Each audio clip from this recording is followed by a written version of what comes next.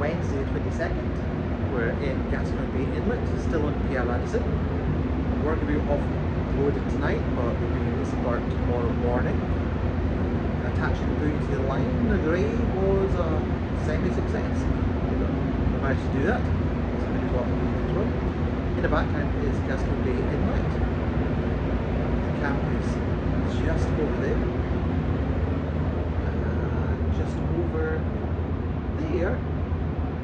wouldn't see in a video, two little white spots, and they are polar bears. So yeah, last day on board vessel technically, and go back to Resolute in the morning. So, mission done, RV mission's all done, and back to dry land tomorrow.